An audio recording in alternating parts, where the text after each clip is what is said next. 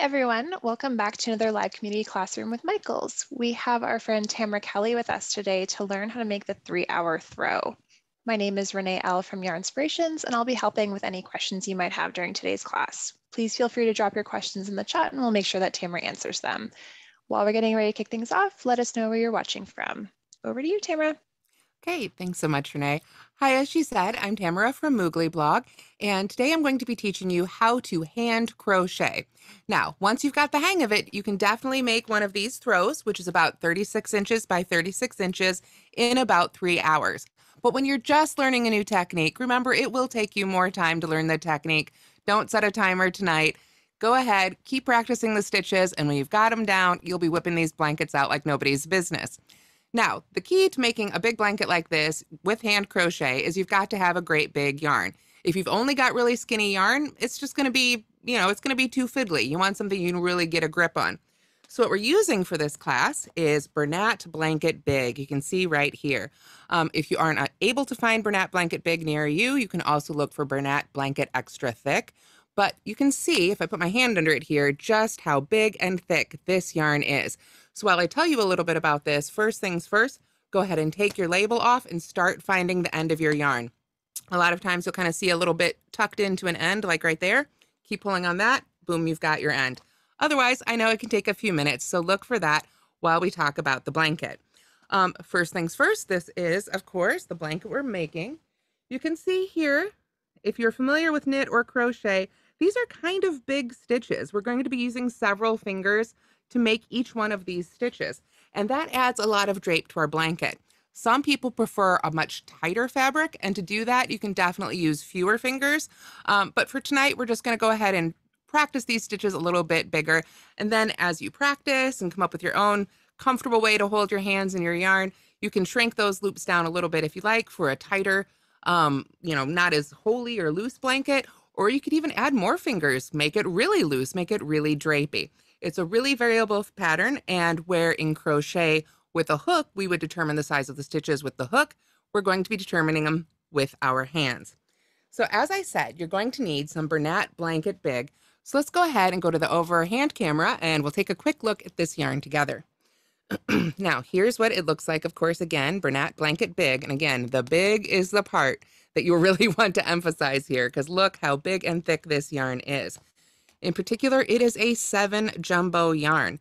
So if you haven't done a yarn project before, that number right there, these go zero through seven. It looks like a little skein on the label there. Seven is the biggest one, and that's what you need to make this blanket. Now, tonight we're only going to be using one skein of this yarn to practice with. To make a 36 inch by 36 inch blanket, like I was just holding up, you will need four skeins. Want to go bigger? You'll need more. Want to go smaller? You'll need less. And we can talk about figuring out how much yarn you want to use at the end of this class. So basically, the big thing is you want a nice, big, chunky yarn. For tonight, if you weren't able to get a hold of this yarn, you can take several strands of, say, Bernat Blanket Big and sort of hold them together as if they were one. But you'll want to have a really big one when it comes time to make this blanket. So now I'll go ahead and pull my label off here and we can pull up quite a few yards. You want to pull up a fair bit because when we're making great big stitches like this, we're going to run right through our yarn. So now I'll set that aside here now that I've got our end. And then right there, we've got the end to our yarn. So the first thing we're going to need to do is make a slip knot. But I want to make sure, I know Renee, I think already put up the link, but this is the pattern that we're going to be following. If you can read crochet patterns, you'll see it says chain 17, skip the chain closest to the hook and single crochet in each remaining chain and turn. And then we simply chain one and single crochet across. Again, if you don't know how to crochet, that might not mean much to you, but if you do, you're ahead of the game and you know what we're doing. But the one thing that isn't included in written patterns is making the slip knot. Whether you're working with a hook or you're working with your hands, more often than not, we're going to start by putting a slip knot in our yarn. That creates a little stable loop for us to begin with. So before I start making the slip knot, are there any questions that I can answer on the yarn itself? Nothing at the moment. Okay. Um, a lot of compliments, which I can share with you later. Okay, well, thank um, you very much. But if y'all have any questions about the yarn specifically, drop them and then we can return to them if needed. Absolutely. All right. Just wouldn't want to get going. Um, should it be from left to right or right to left? If you are right-handed, you'll be crocheting uh, right to left. If you are left-handed, you'll be crocheting left to right. I am right-handed, sadly. I am only right-handed. Um, I can try and do a couple of the things left-handed, but primarily I am sort of stuck right-handed. That said, you can still do these things left-handed. I'm just not not talented enough to really switch back and forth. Sorry about that. So first things first, like I said, we find the end of our yarn. Because this is a great big thick yarn, we want to come in a good foot or so. We want to give ourselves plenty of room to work. Then we're going to basically just put a little loop in it, just like that. Just fold it right over itself. Basically, it looks an awful lot like a, an awareness ribbon is how I always think of it. So we come in, and just loop your yarn right over itself, right on the table, in front of you or on your lap, whatever you've got available. You can see the end still right there. Then what I'm going to do is slip this little section with the end underneath that loop, okay? Then I'm going to take my fingers and I'm going to grab that little section right there from the top through the loop and when I do that, I want to grab onto the cut end and this end that's still attached to my skein with my other hand and sort of between the two hands, pull up on that loop until you've got a slip knot. That's what they call it. That's a slip knot. And you want your loop to be about big enough for three of your fingers to fit right in there nice and comfortably. Let's go ahead and do that again. Great thing about slip knots, if you don't like it, you decide you don't want to do it, you just pull and it comes right back out. Pretty sure that's why it's called a slip knot. So let's do that again. We're going to go in about a foot or so, make our little awareness ribbon right there. You can see there's the end. If you need to, you can make that loop really big, make it a little easier for yourself. It's just laying right on top. Then we slip that end, excuse me, right underneath that loop. Kind of looks like a little pretzel right now. But the main thing is we just want to grab that little section and pull it right up through that loop. You can sort of use your hands. You can see if you pull down on the different parts, you can make, pull down on the tail that's cut here. We can shrink our loop. If you want it to be a little bigger, you can pull back up on it. This is a chenille yarn. That's what this sort of yarn is called with this real fuzziness to it. So sometimes you have to use a little bit of muscle power to pull that through there. It's not a super slick yarn, but you can keep adjusting the size of that loop until it's just right for about three fingers to fit inside that loop. So since we've got a lot of beginners here, I'm gonna make sure we do this one more time. We're gonna come in about a foot, make our little loop there, make it nice and big so you can see. We've got our cut end right there. Slide that right underneath. Grab that and pull it up through. The smaller you make these loops, the tighter and more solid your blanket will be. It'll also be a little bit stiffer, something to keep in mind. Um, one of the reasons when designers create a crochet or knit things, and sometimes you see it kind of being loose and lacy, that's to create that drape. Um, drape is sort of the flexibility of the fabric, if you will. So you can absolutely make smaller loops if you're working. I saw somebody ask if you're using a six bulky that you they have on hand. I would definitely go down to only two fingers if you have to use a six weight yarn. Um, for a seven for now, let's go ahead and stick with three while we get the hang of it. And then definitely you can play with this, pull your stitches back out, pull your slip knot out, and definitely play with it and see what size loops you make to li like to make and uh, what size stitches you like to make for your pattern. right now, we're only using one ball, um, and we'll talk more about how to determine how much yarn for the size of blanket you want to make later. Um, so let's go ahead and make our chains. This is the slip knot. And next we're going to make chains. And chains are sort of the foundation of all sorts of crochet, whether you're doing it with your hands or you're doing it with a hook. And I always tell people when they're learning how to crochet, um, again, whether the hook or hands, you're going to want to practice your chains for a lot longer than you'd think. Practice your chains all night. Practice your chains into tomorrow. And once you've got the chains down, then you can move on to the other things. Tonight, if you want to try and follow along and attempt the stitches with me, that's great. But do remember, this will go up on YouTube within the next 48 hours or so, so you can come back, watch the video, and pause and slow down as needed. So we have our slip knot on our fingers here. I might occasionally say hook. I'll try not to do it, but it happens once in a while. This is the end that's attached to our skein. We've got a little bit pulled up here so it's nice and loose. And what we're going to do now to begin our first chain is we're going to yarn over. This is a really common term in crochet.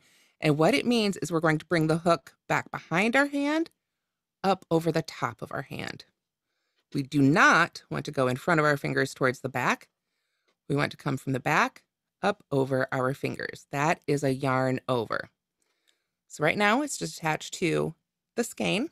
I have the slip knot right there, three fingers in that loop, and I want to yarn over. Once that is yarned over, it's just going to lay right there nice and loose, but I want to use my fingers to pull this bit of yarn through this loop. So to do that, I can try and stick my thumb in there.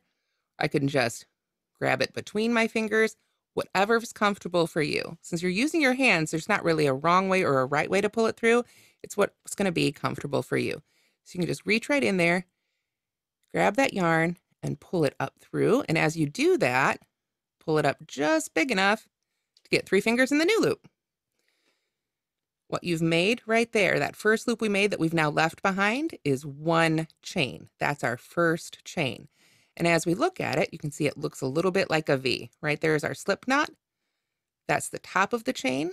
If we turn it over, see these are the two loops right here that we just saw from the top of the chain, but in the middle, there's the back hump.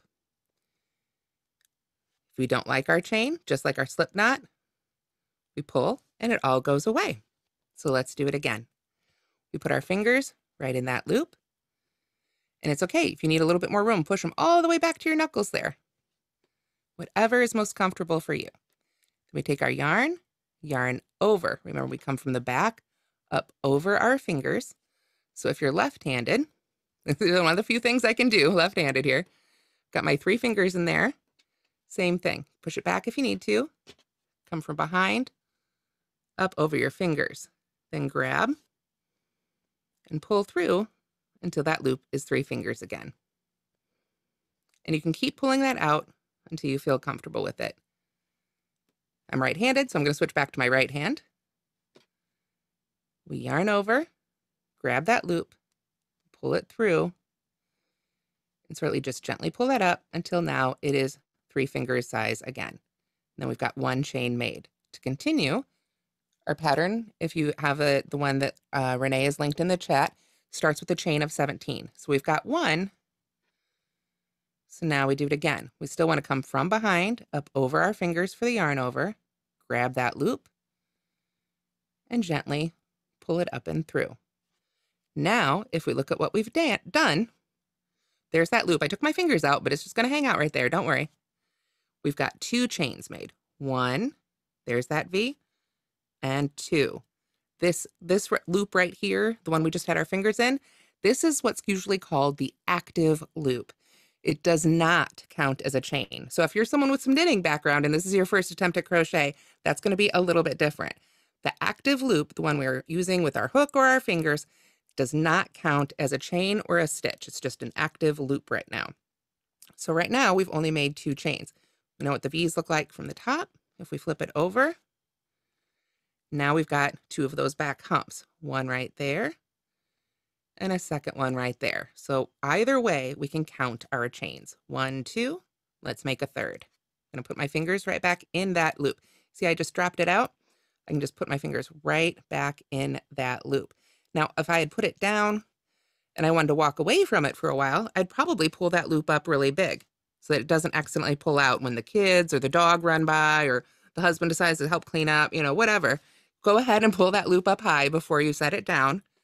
Then when it's time to put your fingers back in, you can just pull right back down on that loop, pull on the end attached to the skein, and just get it comfy on your fingers again. Then we can continue crocheting.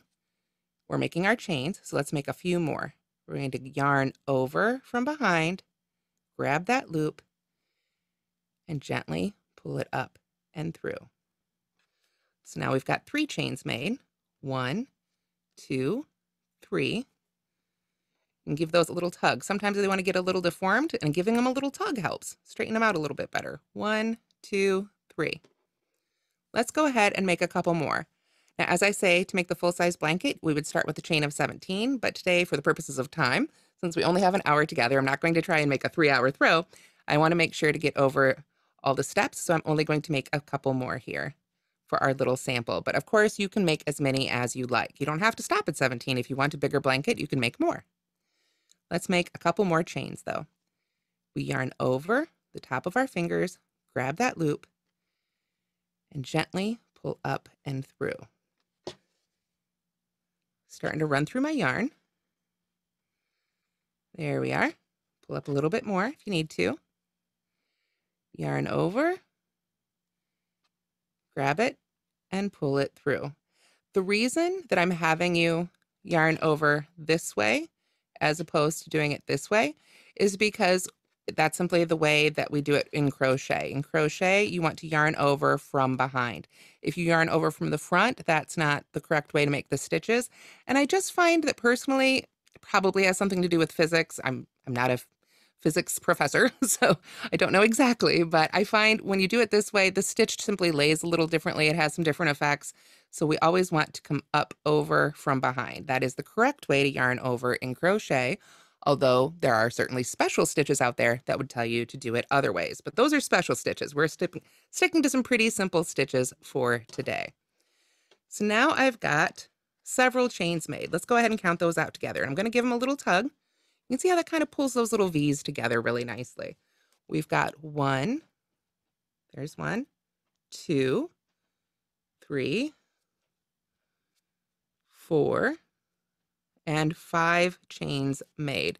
So again, you can make as many as you'd like. This is the number of chains you make will determine the width of your blanket. So if you want a wider blanket, make more chains. If you want a narrower blanket, make fewer chains. Um, this particular stitch pattern we're using to make this blanket doesn't have um, what's typically called a multiple. You don't have to have a particular number of stitches. It doesn't have to be an even number or an odd number. It can be any number you like. We just want to crochet until we have what we want for the width of our blanket. After you've got your initial chain here to be the same width that you want your blanket to be, we need to make one more chain that's going to count as our turning chain. So before I move on to that, uh, are there any questions I can answer about chaining? No questions about chaining. There was one and I did answer, but I want to verify with you. So someone had asked if you wanted a bigger blanket with less yarn, would it help to make the loops bigger? Would you have any recommendations of, I think I said just make a swatch test a few things out. You might be playing chicken, but. yeah, I think um, you could probably Yes, because there there would be less yarn per square inch, if you will. Um, the bigger the stitch, you're going to have more holes, you're going to have more air, so you will have less yarn in that small space. Keep in mind, the bigger the stitch, the lacier it's going to get. So you can try it out, but uh, you know, definitely give it a whirl um, and see if you like the fabric. Um, like I say, we'll go over make a swatch. Um, I'll talk about again a little bit at the end, but if you make a little swatch with one skein and see how much you get for that. I will teach you how to take the math for that and figure out how to turn that into the blanket size you want. Um, great question just popped up. Some of my chains are looser and others are tighter. How do I make them the same size? That's that practice I was talking about. If their chains are a little wobbly, we just pull them back out. If we don't like the way we work, they look, we just pull them back out to where you do like them and start again. You still got that loop right there. You can put your fingers right back in there and make some more chains. That is really what all that practice um, is about. And making even chains is something that most beginners struggle with, both by hand and by hook. So there are actually projects out there, particularly for the you know smaller yarns, that only use chains because it is such a thing that you need to practice so much. So you can use, you know, your lots of chains for people use them for gift wrap or for bracelets. This stuff's probably a little thick, but uh, basically it's practice, practice, practice, practice, practice, um, and being consistent. pulling it up to the same size, getting a feel for the yarn, getting a feel for those loops on your hand and how the stitches work together. And then that's why I really emphasize the yarning over from behind because that will help you keep you consistent too. If you do, you know, this way one stitch and this way the next stitch, they're going to start looking differently. So we just want to be really consistent in yarning over from behind, over the top of our hand and pulling it through. And then, like I say, and it's practice, practice, practice. I wish I had a better tip for that. It's always one of the first questions I get, but alas, um, I too chained for days and days to get the hang of it when I was first starting. So let's see, we've got all these chains made. There's the tops of them. And here's what they look like from behind. Remember, we talked about those back bumps. For this pattern, when we go to work back into that chain to start building our fabric, we're going to be working into these back humps right here. So we want to look for that little hump right in the middle when we flip our chain over. This is the V's on the front of the chain. We look for those humps on the back of the chain. I always say when I turn them sideways, it looks a little bit like the Loch Ness monster. Boom, boom, boom. You can kind of look for those little humps across the back. Those are the parts of the chain. That little hump is what we're going to be working into as we begin our first actual row. This is the chain. This is the width.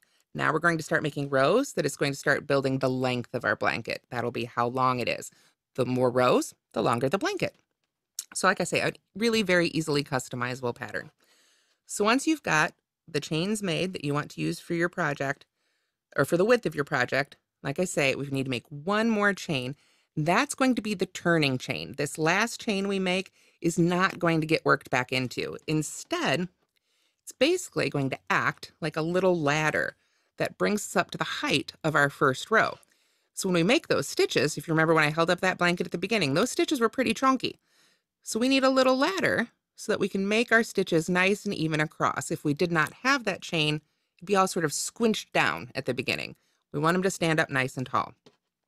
However, for hand crochet, I have noticed that when I go to make my turning chains, I'm going to pull that one out because it's a little wonky. When I go to make my turning chains, I want to make it just a little bit smaller because we're not going to crochet back into it. And I just don't want it to be really loose on the edge of my blanket. So for my turning chain, I'm going to go down to just two fingers, but I'm still going to yarn over and pull through. Now, right now here on my demo, I don't actually know how many chains I have. I saw that question pop up. Um, in the blanket pattern, it calls for 17, but again, however many you want to practice with today, three, four, if you've got some good looking chains and you want to keep those and move on, absolutely, that is enough to practice with. So now this last little V I made right here, it's just a little bit smaller than the others, but it's going to be our turning chain. So if I flip that over, so we can see from the back, here is that back hump from that last chain we just made. We're going to skip this one because we want to skip this whole chain for our ladder. So we skip the one closest to our active loop, closest to the yarn attached to our skein, and come to the next one. So if you need to turn that sideways, you can. Look at it this way, kind of come from the front. Say there's one V, that one we're going to skip. Here's the second one. You kind of grab those and flip it over.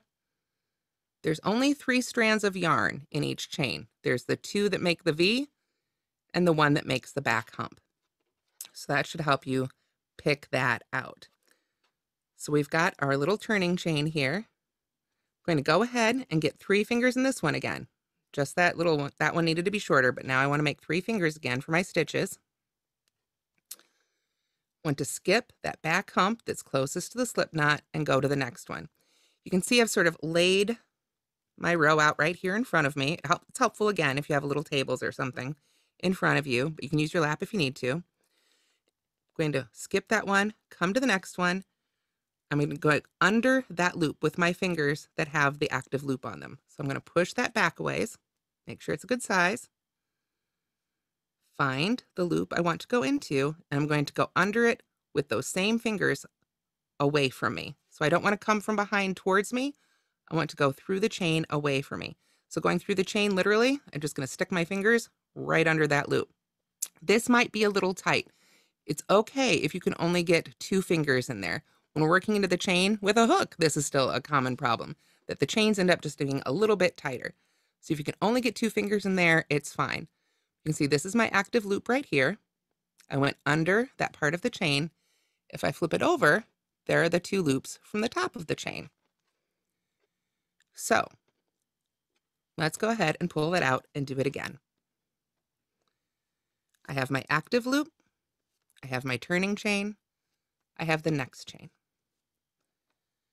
I have my fingers in the active loop, and I can push that nice out of my way, push it far back. Pull that out of the way if you need to so you can see. Skip that chain right there, come to the next one. I'm going to insert those same fingers with the loop on it under that bit of the chain. Only two fingers is fine. Until now I have the active loop and my fingers are stuck into that chain. You can see I'm totally attached now. So now what I want to do is grab that yarn again that's attached to our skein. And you can turn it towards you a little bit if you need to and push, give yourself some room. We're going to take our yarn and yarn over again. It seems like it's not really coming from the back because it's up high, but we still want to come up over our fingers. Then we grab that yarn. You can do it, I like to do it just grabbing it between my fingers. So I'll actually just kind of yarn over one and grab it. You could yarn over two and grab it that way, however you like to do it. But we want to grab that yarn and pull it up through that chain, just through the chain. And as we pull that up, we can get three fingers into that new loop. There we are. So now we have the active loop on our hook, the loop we just pulled up through the chain. We're going to push both of those back again, make sure they're the same size, nice and high. We're going to yarn over one more time.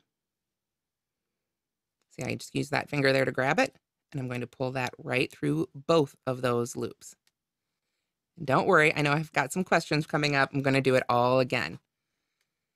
But that right there is one single crochet. So I want you to take a quick look at it. If we look from the top, there's that V again, just like we were seeing when we made our chains. From the front, it's got two vertical bits right there.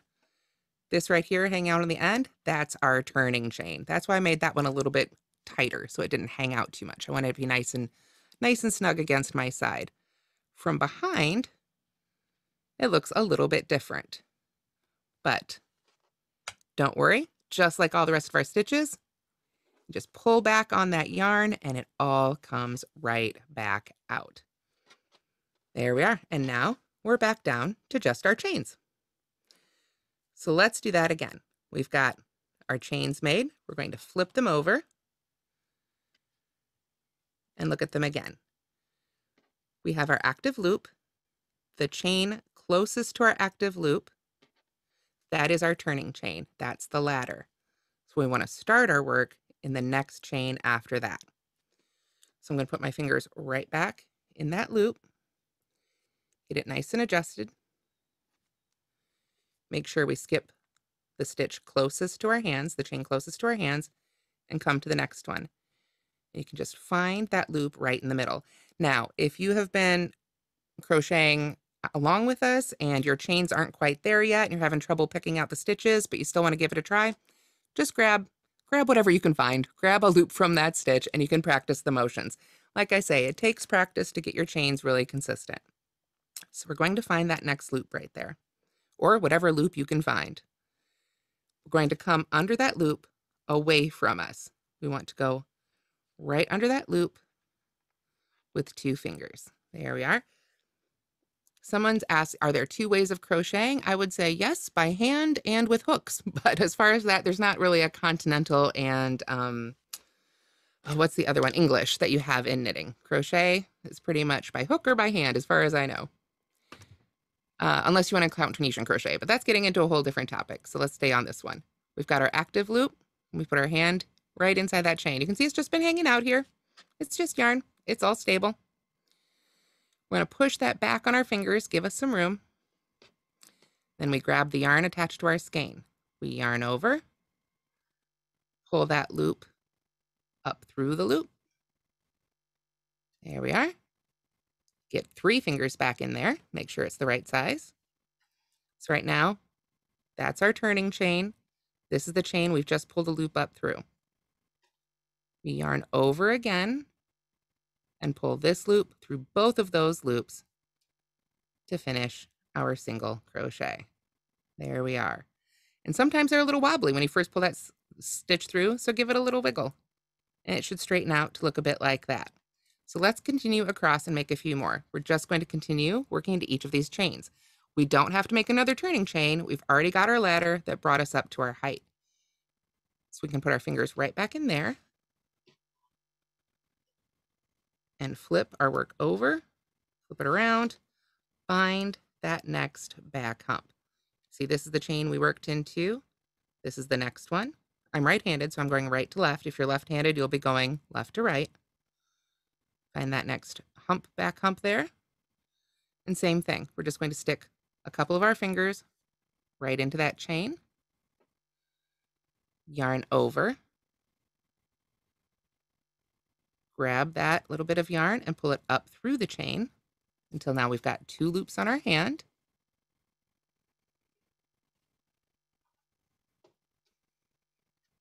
And sometimes they get a little big. That's fine. Just give them a tug back on that skein. Get them the right size. Then we can push those back on our hand out of the way a little bit. Yarn over again. And this time we pull through both of those loops. Give that a little tug there to straighten out. And now we have two single crochets, made one and two.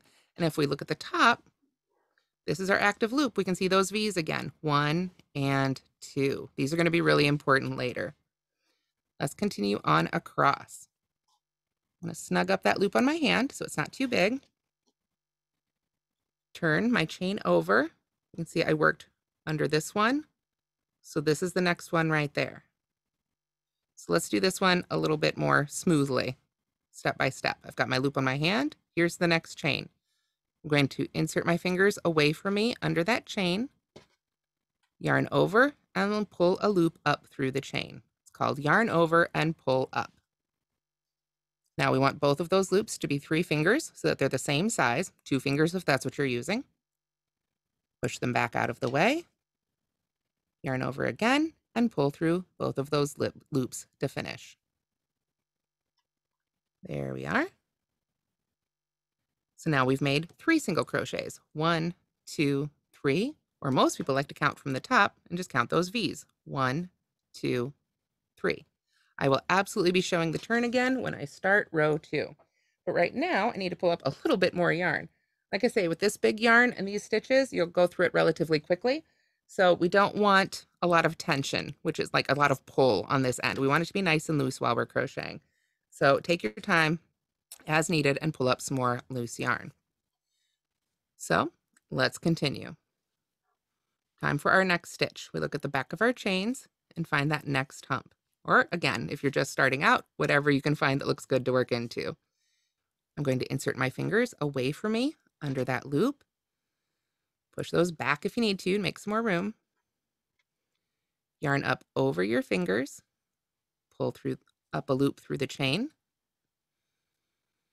Make sure those loops are the same size on your hand. Push them back a little bit. Yarn over again and pull through both of those loops. And whatever size blanket you're making for the width you want, we keep doing that until we get all the way back to that slip or excuse me, slip knot. We don't work into that slip knot, just into the chains themselves. We've got two more right there. What if you run out of yarn? I will teach you how to handle that as well. Coming up soon. We've got our next chain right here. I insert my fingers into that chain, yarn over, pull the loop up through the chain. There we go yarn over again, and pull through two. There we are.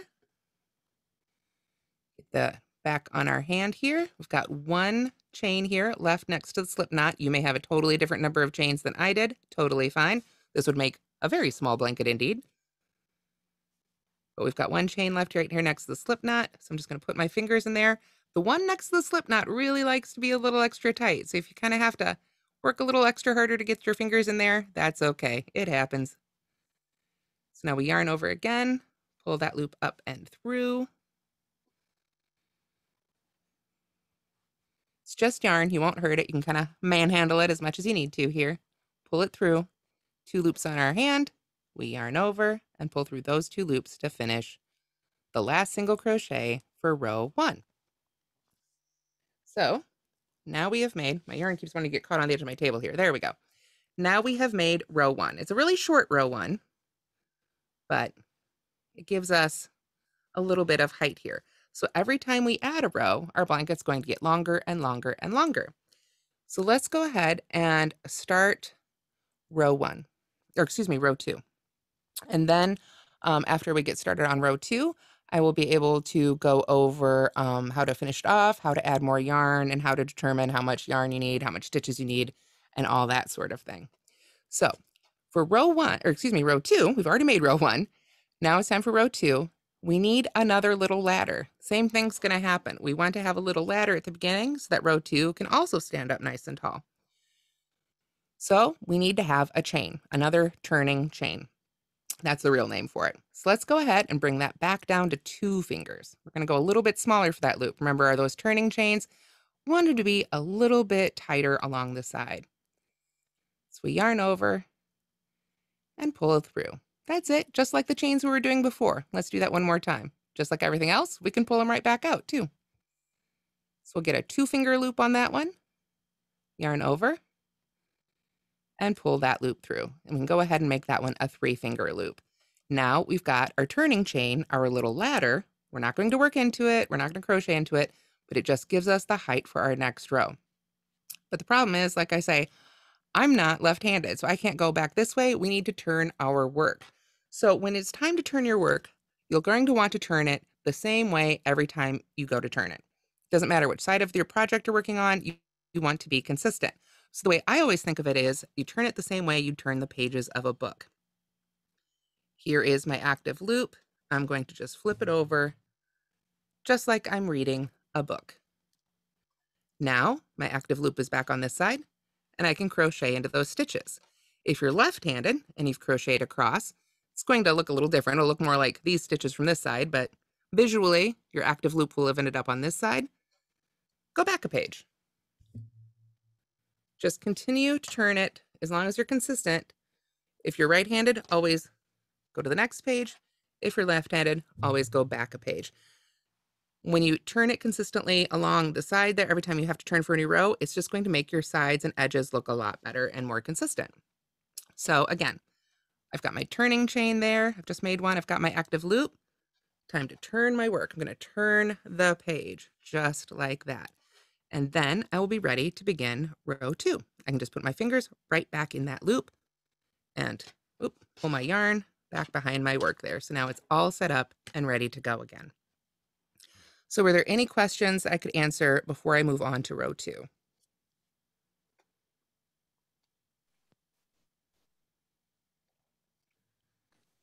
Oh, did I mute myself again? Can you hear me, Tamara? Yes, now you can. yes. Oh, perfect. okay. um, I am just going through. Um, one person asked, could we go over color changes, perhaps, oh. or joining a new yarn, maybe? Since... I will definitely be showing how to join a new yarn. I, am looking around, uh, I do have another color around. I can try and put in some color changes here as well. I think even if joining a new yarn, I think that would Okay. Be helpful. Yeah. Absolutely. I will be getting to that here after we get through the basically the how to crochet part. I want to cover some more of those of course. questions. Alrighty. So I've got my turning chain. I've got my active loop. Got my three fingers in that loop. And I've got row one all stretched out here in front of me. Excuse me. Now you'll remember I really pointed out when we look at the top of that row one, we've got those V's again. If we turn them that way, you can kind of see them a little easier all those V's all lined up for us. So we've got our turning chain. Remember, we're not going to work back into that, but now we want to find that first V right there at the very top. So that will be at the top of that last single crochet you made for row one. And now, instead of our sticking our fingers under that one back hump of the chain, we're going to stick them under those top two loops of that stitch. So that's a lot on your hand. You've got the active loop and you've go, got both those top two loops from the stitch below. So you can go ahead and shove all those right back on your hand, however you need to. Oop.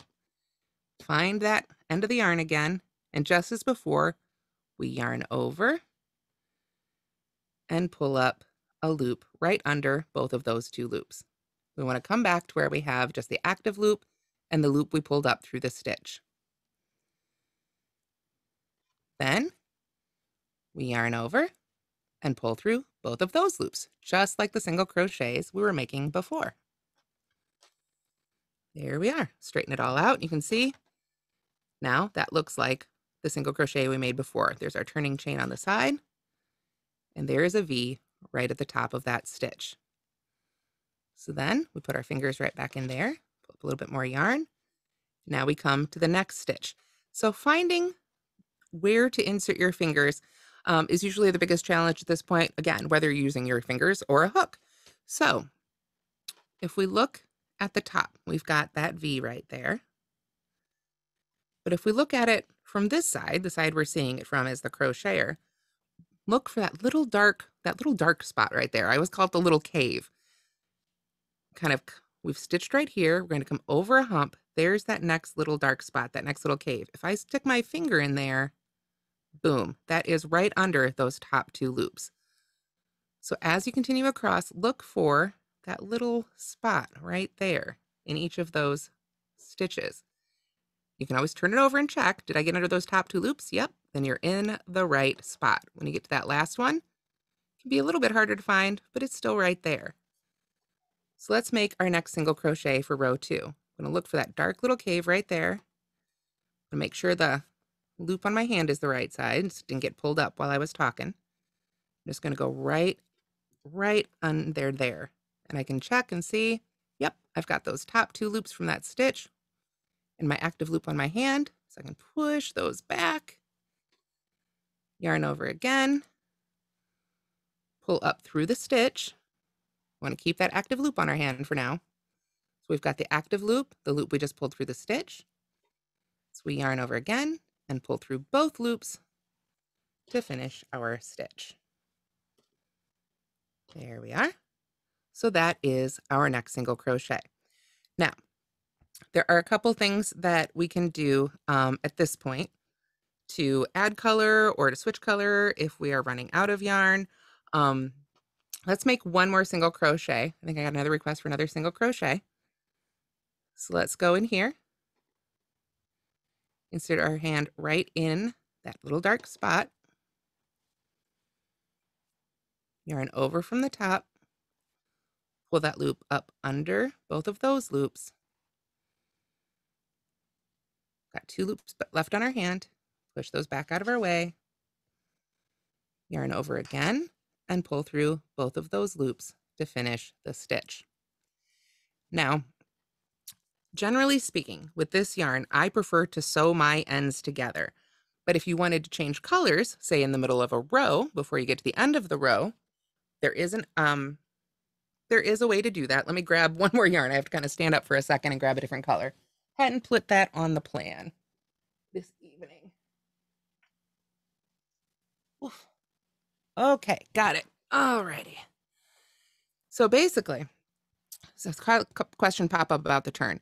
The turn happens when we get all the way to the end of the row. So if I wanted to continue in this color, I would single crochet in each of these stitches.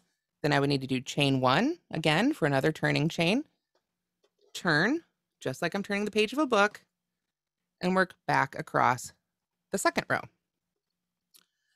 So what I want to do, if I want to add a second color, is pull up a good length of that second color. If we want to make a picture or a pattern of some kind in our blanket. I've pulled up so much I can't find my end. Where did it go? There it is. Okay, found my end. All right. So if you wanted to change colors in the middle of a row, what you could do get that loop back on our hand here. I'm going to go find my next stitch, insert my hand in that next stitch just like I normally would. I'm going to yarn over and pull that loop up through the stitch. Now I've got the two loops on my hand, my active loop and the one I just pulled up through the stitch. And now what I would do is take my new color of yarn, push these two loops out of the way, come in a fair bit. You know, you don't want it to accidentally pull all the way through. But we're just going to basically yarn over, lay this yarn over our hand and finish the stitch with our new color. Then we can tuck those ends out of the way for now and simply continue to crochet in our new color. Find the next stitch, insert our hand right under those top two loops, yarn over, pull up a loop. There we are. Yarn over and pull through two. And continue on like that. That really does give us the cleanest color change. We want to get all the way through the stitch until we've got those last two loops left on our hand, then yarn over with our new color and finish the stitch with the new color. That creates that loop right there. When we finish that stitch, this was the active loop. So we want that to be in our new color so that all the parts of this stitch are all one color. And now with the contrast, it's actually a little bit easier to see which parts are the single crochet. When we were making this stitch, this was our active loop. We reached into this stitch, pulled up a loop, and then pulled this yarn through that loop and this loop. And that's how we made the single crochet. Now, I'm going to go ahead and pull this color change out.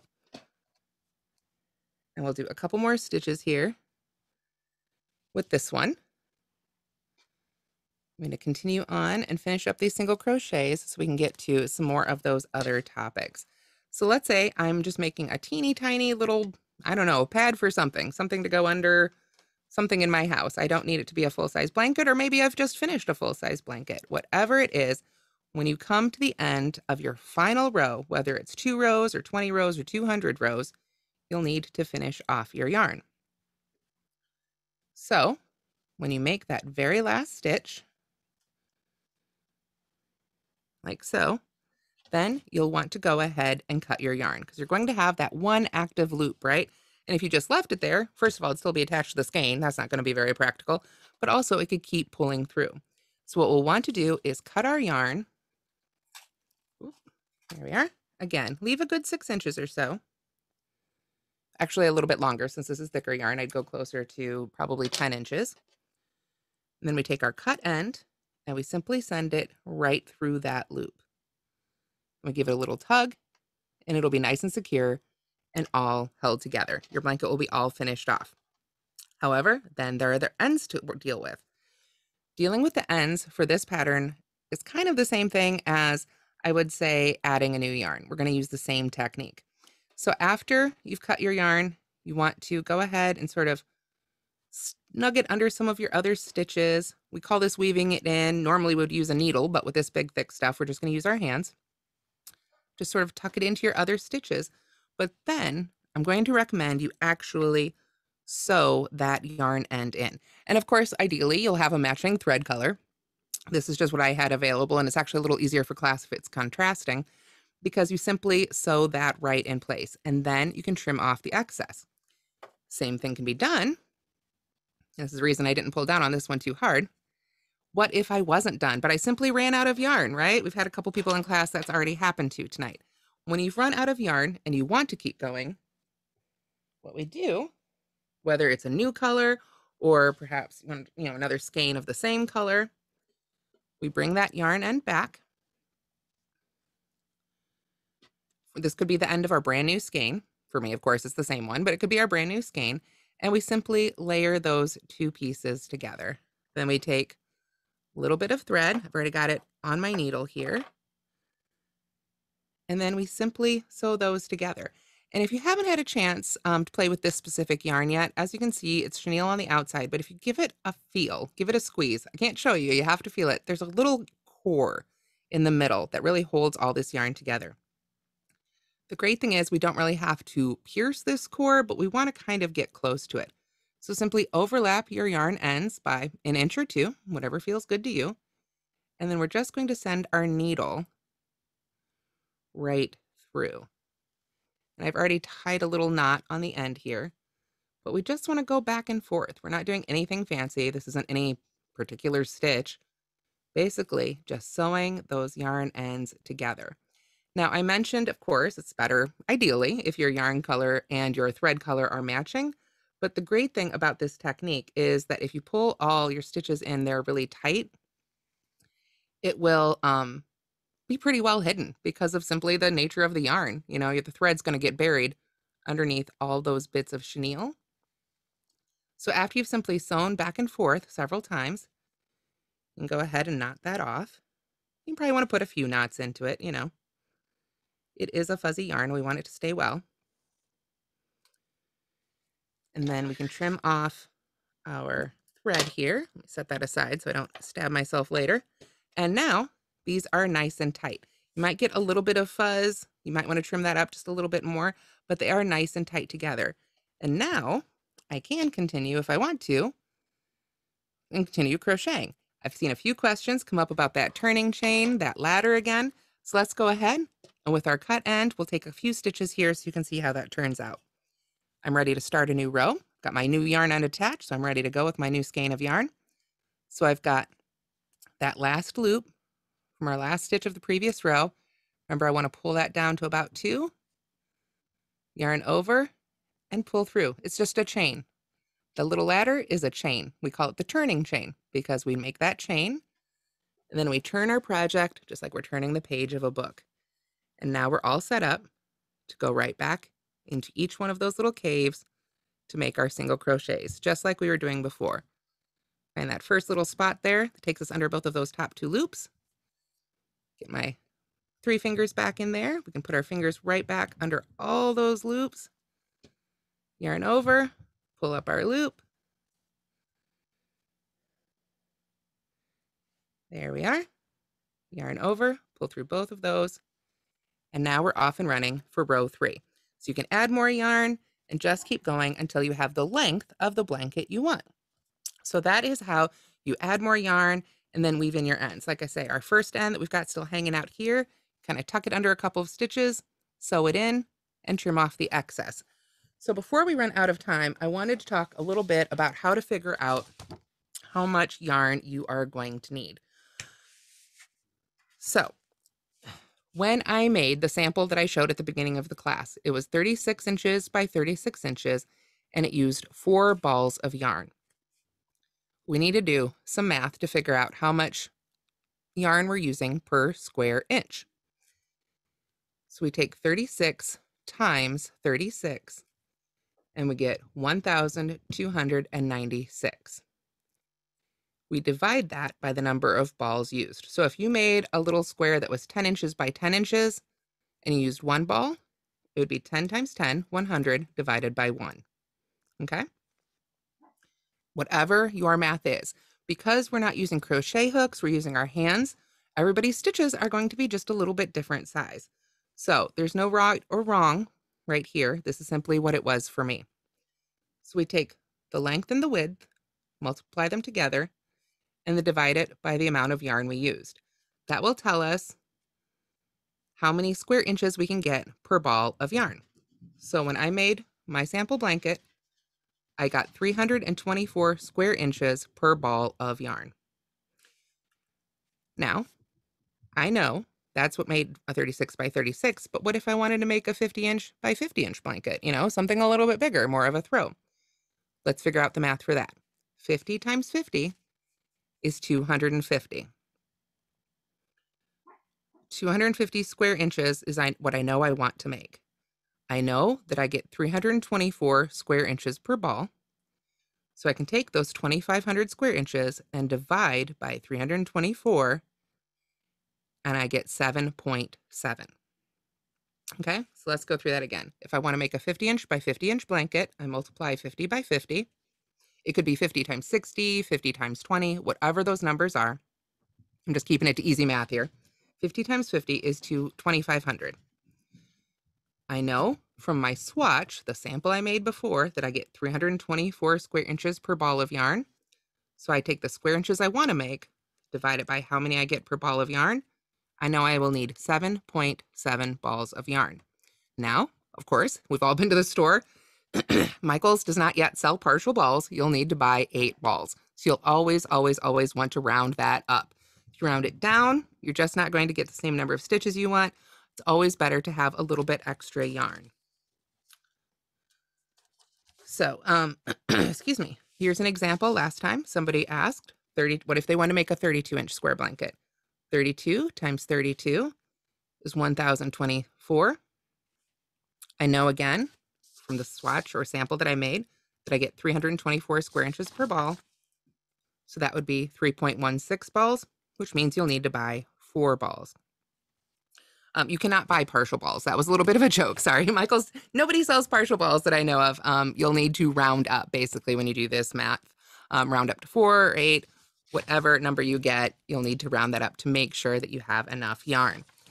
So then, how do you figure out how many stitches you'll need? Thought I had a sheet for that. Here we are. Yes. Okay. So here is the sample blanket that I made. A 36 inch blanket, I used 16 stitches, right? Remember we chained 17, but that last chain was our turning chain. So a 36 inch wide blanket for me was 16 stitches.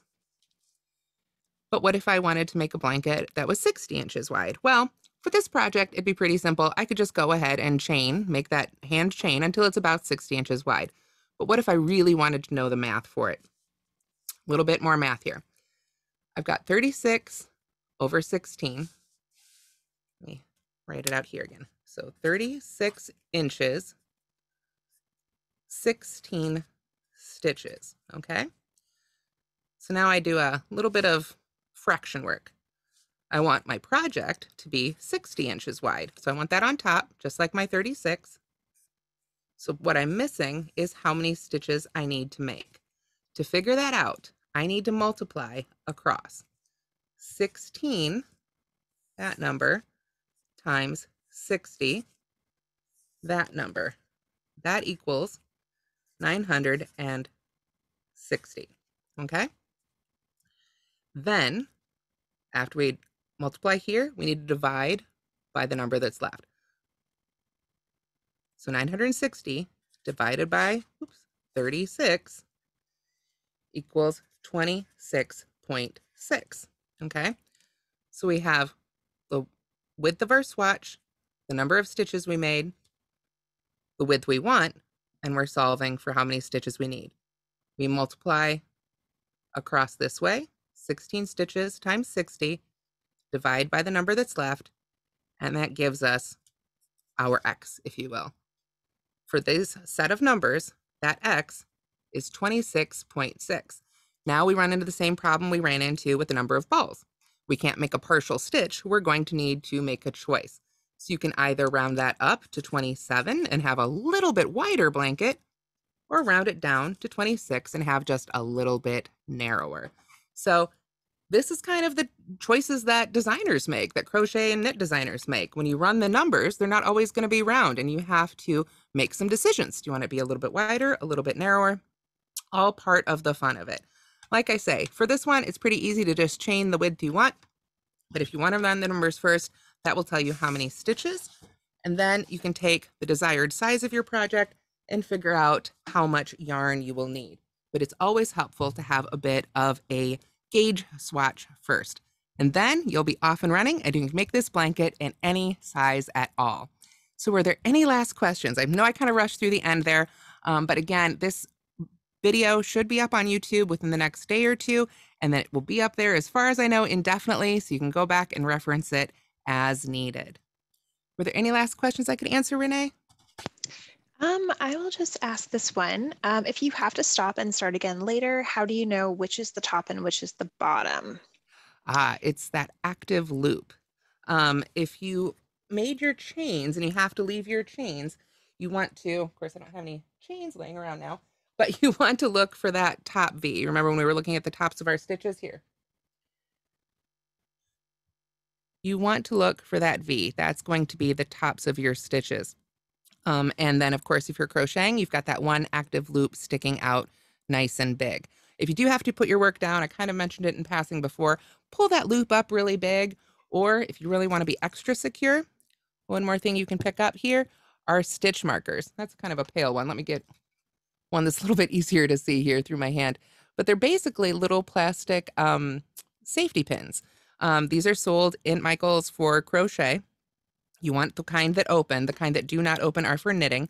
But basically, you can take your big active loop. Well, we'll pretend this is the active loop And you can put a little stitch marker in there or through both of them, however you can, and that will help you hold that loop open as well. But with a big thick yarn like this, it's nice and um, textured. If you just pull that loop up nice and big before you set it down, that will go a long way to helping you keep your place. Um, and I think that is it. So we'll go ahead and come back to the other camera. I saw a couple questions pop up where to find the video. It will be on the Michaels YouTube channel. So if you're watching it on the Michaels YouTube channel now, hello, and I hope you enjoyed the video. Um, again, make sure you can use that gear icon to slow it down, speed it up, pause it, skip it, change the speed, and really kind of customize the class for you. But for now, practice that slip knot and all those glorious chains, and you'll be well on your way. So thank you all so much for joining me tonight. Awesome. Again, thanks guys. And I cannot recommend the functions on YouTube enough. There is a slow down option where you can slow it by about 50%. And that is my favorite. It makes it so much easier to watch. Um, make sure that you tag us with your work um, with hashtag make it with michaels and hashtag yarnspo y-a-r-n-s-p-o tell us you know if you made any modifications if you you know tried to use hooks we love to see it. We love to see all the solutions. This is a very modifiable pattern so we love to see it. And just a reminder that you can find more classes on michaels.com and a recording of today's class at michaels.com slash classes. All right. Good night everyone. Thanks. Have a great night everybody. Bye